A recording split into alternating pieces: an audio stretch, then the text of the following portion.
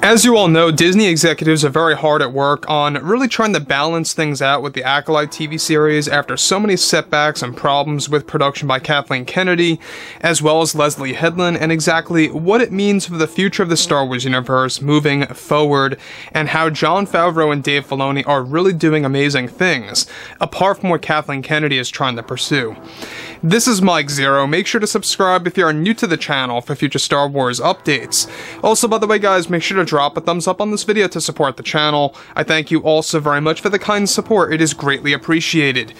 Now, one thing about the Disney Star Wars universe is that yes, we have a lot of books and comics on the way that's going to expand multiple different eras of the timeline of the Star Wars universe, you know, such as the High Republic, the Old Republic, the Kenobi verse, as I like to call it, that bridge between episode 3 and 4, as well as the Mando verse, everything such as The Mandalorian, the Ahsoka series, Book of Boba, you name it. Now, given that we are in a very interesting scenario, we have John, George, and Dave working together as this trio, this team, if you will, that's bringing on other directors and writers. Directors like Peyton Reed is coming back into the Star Wars universe, the guy who directed the season 2 finale of The Mandalorian with Luke. And I think that he is by far one of the best directors to bring in for Star Wars. I really do.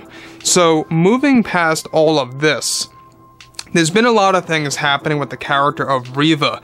Now, we all know that Reva was not very well received by the fans for the Obi-Wan Kenobi series for multiple reasons. Now, some of you out there, and a lot of you maybe even, might actually like the character of Reva, but there's no denying the fact that the majority of fans had a problem with this character on some form or some level. Alright, I myself had multiple problems with the character.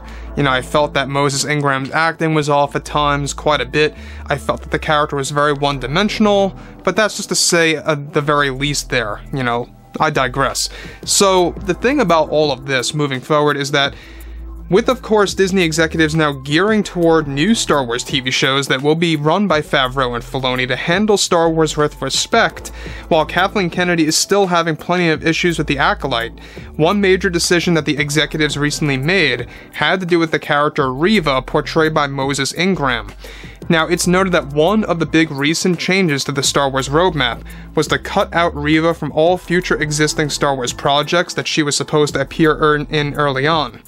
This included the second and third season of Obi-Wan Kenobi as well as our very own Star Wars series that was going to be called simply The Third Sister, that would go over her origin story and what her life is also like, giving up the role of an Inquisitor. The executives made this decision based on several reasons. One of the biggest ones had to do with the fact that Moses Ingram was asking for way too much money for those projects, and was warning to leave the series if she did not get what she wanted in return. Disney did not want to go over budget with the Reva series, and so they canceled it altogether. This is where Kenobi Season 2 and 3 were left in place to bring a return for Reva early on, since Kathleen Kennedy held control over the Kenobi trilogy story that transferred over to the series. Eventually, for good, alright, for a good reason here, Disney was able to override that after her marketing approach with the Kenobi series led to the show getting bad feedback by the community in which they finally decided to drop Reva from the continuation of the Kenobi series, which right now is getting reworked for the fans to enjoy with new seasons and new creators taking care of it all. Now, it doesn't stop there. Before I get to the next thing here, I just want to say one thing is that this is nothing against Moses Ingram, alright? Just a very nice person, but the character that she played very one dimensional to me and a lot of fans out there. And I think a lot of you here will agree on that. When you look at a character like Obi-Wan Kenobi and he has his own Star Wars show, I feel that you should not just throw in some random character that is the bigger part of the story, or at least the equal part of the story. It should have really been all about Vader and Obi-Wan equally back and forth. That's what they should have done. That's what the Kenobi series really should have focused on. If you look at Revenge of the Sith, you know, is it about Obi-Wan or Anakin and some random character? No, it's about the actual characters that it's focusing on, and that's what the Kenobi series needed.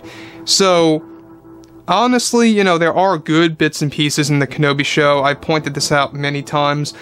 But in its entirety, the show really is not good on a consistent level. It has its moments that are really good, you know, like I say, the battle at the very end of the show between Vader and Kenobi, or when Kenobi gets set on fire, or, you know, another great example is when you have, you know, Kenobi on Tatooine, like little things like that are very well illustrated.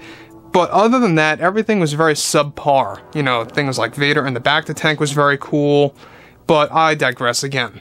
So, on top of this, alright, Another major reason with Disney executives and why they erased Reva from the Star Wars roadmap had a lot to do with the fact that no major companies wanted to create Reva merchandise because of how unpopular the character really was. After all, Disney is very motivated over merchandise too, and seeing Reva not getting any support from many toy companies or anything like that really led to Disney taking the plunge and erasing her from any future Star Wars shows that they are being run by anyone else than Kennedy.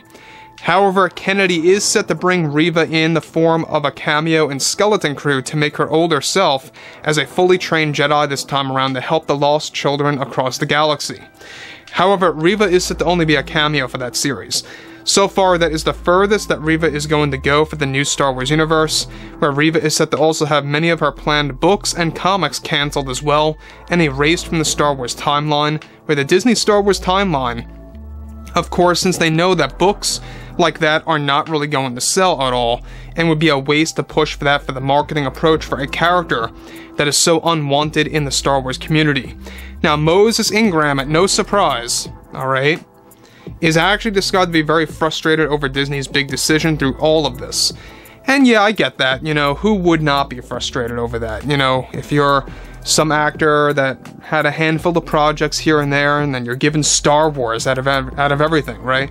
and then you're kind of thrown out because of how things were written or how you were instructed to act or, you know, things like that. It's kind of like when you look at Hayden Christensen, right? He got a lot of flack based on what the script was like, uh, how he was directed to act in the movies. But when you look back at it now, you know, the prequels have its own style. And I always like to point this out that the prequels the originals and the sequels all have different tones, the way that the acting goes. And when you look at the prequels, specifically, I like to call it Elizabethan style. It has a real Elizabethan style acting in there, almost like it's a play or something like that. And George Lucas actually pointed this out before in the past that that was done intentionally and could very well be why a lot of fans did not like the acting or the way that the dialogue flowed with some of the characters. So, moving forward from all of this, you know, I think that at the end of the day, Disney made the right call. You know, could they give Reva a true second chance in a series or in a project run by Favreau and Filoni? I don't think so. I think that the fans have made up their minds at this point. Are we open to a second chance for her? I guess so, but not in a major role that's going to interfere with the legacy characters at least. But so far, I would not rather have this character involved. I hold no interest in her as a character. Again, nothing against the cat, nothing against the actress, but this character was very poorly written and planned, so to speak. Stuart Beattie's version was far superior. I don't know if you guys learned about that you know. But anyways, drop a comment below, guys. Let me know what you guys have to say about all this below in the comments. And if you guys did enjoy the content for today, make sure to drop a thumbs up on this video to support the channel. I thank you all so very much for the kind support, and I'll catch you guys next time.